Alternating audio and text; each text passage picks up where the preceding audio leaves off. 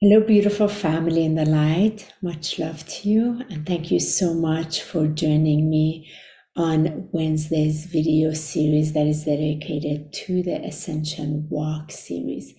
And today's topic is about listening to that inner nudge. And how do we really listen to that inner nudge? We all receive it. And I really want to dive in this space and share the importance of it as we are walking this walk of ascension and embodiment and why that is such a significant factor. I've been covering few few different uh, topics along this particular state of awareness and consciousness, and I welcome you to watch the previous videos. For those of you that are new to my channel, I welcome you and I thank you for being here. For those of you who are returning, thank you so much. And as always, I welcome you to leave your comments here and ask your questions so that I can respond to them. And I really value you taking the time in watching this. So let's go ahead and dive into this space.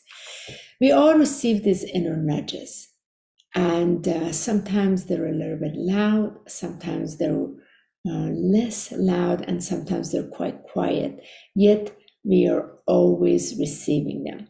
And when we don't pay attention to them, they do show themselves in other ways, such as in our dream state, such as in the outer screen or our reality through, say, car accident or through, let's say, know, some kind of encounter where we weren't expecting, um, and maybe missing the airplane or for example, um, missing the ride we were supposed to be on, or for example, a certain financial loss. So it, it will always play itself out in the outer screen of our reality. And that inner nudge is coming from a place of deep reverence, deep love that we already are. So it is through the subconscious part of ourselves, it is through that vast divine feminine that is so fluid and open, that has access to everything and everyone. It is part of that automatic state that is the autonomic nervous system that's already automatic, that's pulsing this heartbeat. We don't have to think about that the breath is coming in. It's all connected to the same conscious awareness that's behind the scene, that is aware and present to everything in our lives. It contains all the solutions, it has all the answer, it already knows what the issues are, and it is accessible, available to every single human being. Now, whether we are accessing it and listening to it, those are complete different things that we will also get into in this video. So let's talk about this nudging. What is it like to get that nudge? Sometimes we might experience something right in our stomach. We call it like that gut instinct. What is that? We're receiving information that was already within our field of awareness it was already there. So it's not like it's anything new. What happens in those gut instincts, because we become more aligned, our human self becomes more aligned to the truth of that which we are, from that great I am awareness, from that divine consciousness, from that life principle of life. What happens that gut instincts, which is that intuition, that intuitive start space where it coming it comes from deep within, becomes jolted as a as like a wave of light within, and you feel it right away. It's this gut instinct. So it it then kicks it into our conscious presence to what's aware that is being observed with these five senses, which is more our masculine consciousness, it, it's brought to the forefront so that we are able to have the ability from the five senses to address it, whether we're going to you know, hear it, whether we're going to see it, whether we're going to sense it, feel it, all of these things are part of the five senses. So that's like one of the ones that majority of us when we get that gut instinct because it's almost like as if it gets tightened in the stomach, but it's right behind um, the rib cage and where the breath is and where the heart is. So the, from the heart, this inner communication takes place where the breath gets involved and this tightens. So there's this jolting experience of uh, receive something. It's almost like a motion forward. And um, that's one of the ways there's that nudge. Sometimes another nudge that we get is uh, much more subtle, way more subtle. And there's this sense of uneasiness, not anxiety. It is not anxious. It is uneasy and it's not explainable, yet there's this uneasiness within the field. And it's so important to listen. What is that uneasiness? Because there's information that is presented in the outer screen of our reality. So from that, then there's this opportunity where from internal, we're experiencing this uneasiness. So that means sometimes often it is bumping against a frequency in which is not harmonized and always our divine essence, our divine presence, our infinite consciousness that we are within this temple has a passion and desire for harmony, for peace, for joy, for beauty, for the prosperous, for the luminosity. So when it meets um, a frequency that is in this harmony, has a desire to harmonize it.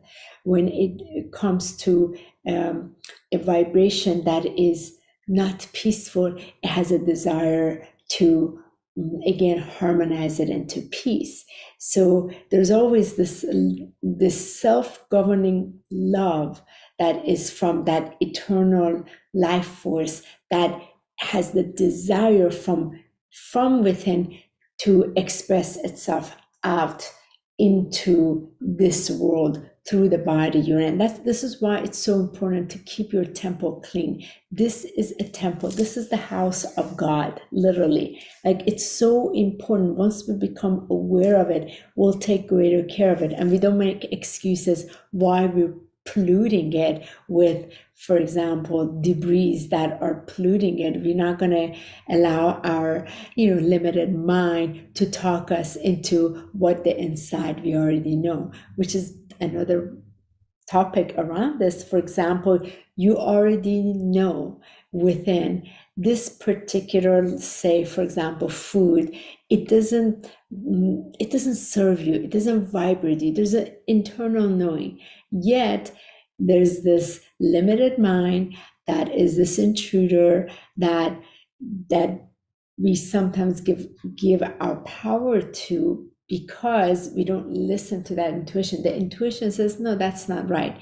But through this sort of like lack of discipline, and it is really coming from a lack of divine love for the human self that we choose to give it and then talk ourselves um, talk ourselves that why was okay because oh nothing can happen. It's okay. Um, it won't affect me or anything like that. So it is that separation because it gave to this vibration frequency that was not um, radiating. And that usually comes from some insecurities inside because when it is more secure. It's coming from love. There's a reverence. There's a love. There's a compassion. And it's like it can be right in front of you. You could care less to touch it because it's just not for you. It's there's never been an explanation for it. So those insecurities do exist. And again there's an intuition that nudge within that is kicking in to give us the ability to allow our divinity to take charge and be able to make the choice whether, for example, that thing is going to be ingested in this body and is it going to be part of the life force or is it going to deplete the life force? So that is aware of itself. and sometimes there's this subtleness like as you come there's this uneasiness right you come to touch it and it's like not quite feeling right so when you're there just leave it and what really helps in moments like that don't take the action step make sure it is moves into ease before you can. So if you're experiencing an encounter, say, let's say in this case, it's a food, you're not quite sure what to, you go to a place, you want to order food and you're like, mm, you feel that uneasiness, right? Go ahead and just pause, come back, breathe, and proclaim back that the eternal flow of life, that divine order guides and directs you. So say to yourself, the eternal life, the, the divine God presence guides and directs my life in all wondrous ways with pure love and, and drop into that place. And from there, let that ease settle into your body. So then when you approach it, you are able to see this uneasiness lifted and because everything is happening within so from within you want it to harmonize on the outside so when we are having these discrepancy within ourselves and this is part of the journey of the human experience the ascension walk we are going to be given opportunity every single day to experience some of these pockets of insecurity, unsettledness show up. So we get that intuitive nudge in so that we can allow our crystalline light, our that Christed present, that luminosity of light to come into that place, harmonize it, and allow it to transmute into this natural radiance of the streaming flow so that then what is presented itself on the outer reality is of the same frequency of flow and ease.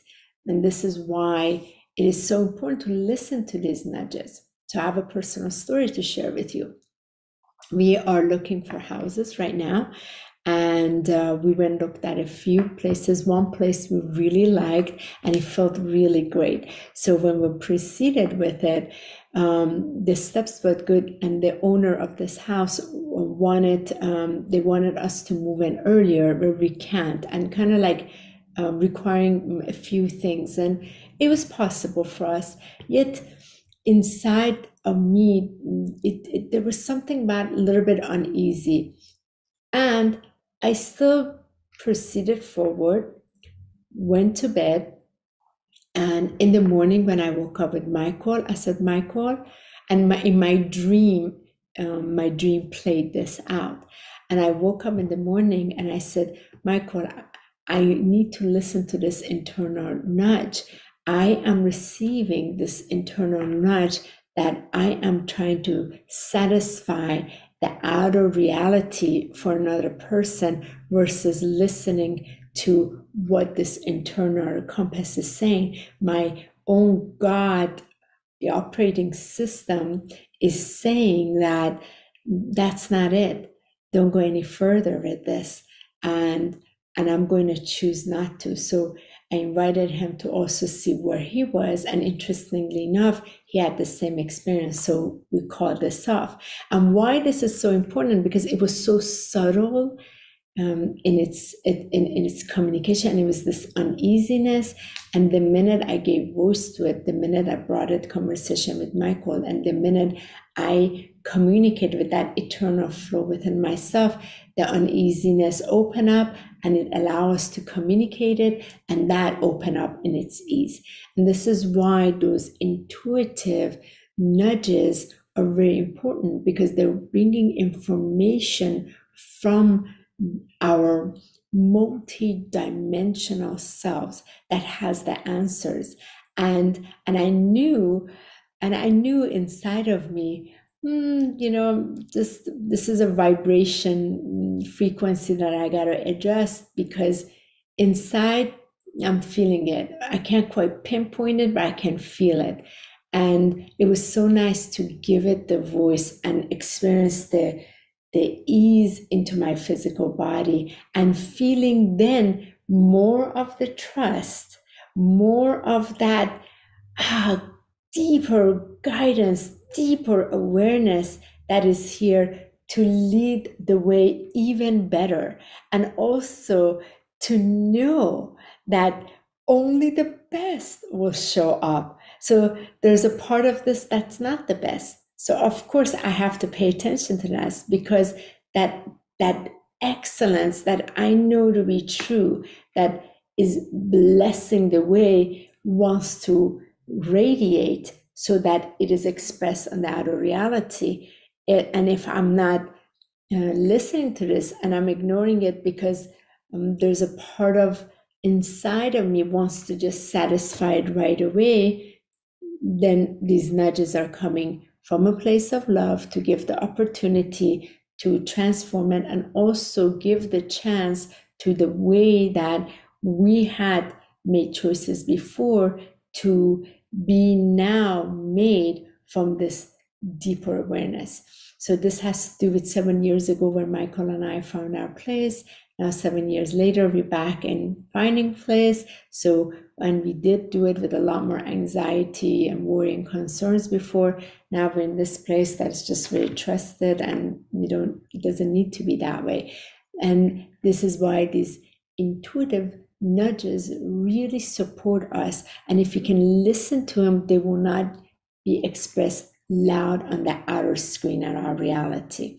And I have plenty of examples where I've also not listened to it. I kind of like ignored it. No, it'll be okay. And I had that limited part of me saying, no, it's okay. Don't make a big deal out of it. It's okay. And I got to experience when I ignored it what happened to the reality on the outside that um, in some cases was quite quite a disaster yet that was also so perfect because through this lens of the five senses had to see it through the my masculine had to see it so that it can begin to trust that inner part that that feminine part greater that is coming from a place of love and we're talking about qualities here, just the quality, the feminine principle, the masculine principle from source, um, not gender wise. And so that way, there's this harmonization between these two life principles together as one. They have to be unified as their own sacred marriage with each other. And the sacred marriage always happens internally because it already comes from that. It's never on the outside. And this is something that Michael and I are starting our mentorship on Friday. It's a 12 month mentorship about this exact inner divine union and all the different topics that is around this. And for the purpose of this video, this video is about on the ascension walk journey, how important, how vital it is to listen to those inner nudges and not ignore them. You might be driving off on the highway and you get that nudge to turn somewhere, turn there. You do not know what awaits you, but all these other things, all these prayers you've put out has already been answered. Everything has already been created, and you just got to listen carefully within so that it can follow what already has been created for you that is ready to be expressed in the outer field for you. So hopefully this help uh, clarify some things for you and bring some things to the light. And I look forward in reading your comment or any question you may have. And I look forward to also see you, seeing you next Wednesday for the next episode of the Ascension Walk series. Thank you so much and have a beautiful, bountiful, blessed day.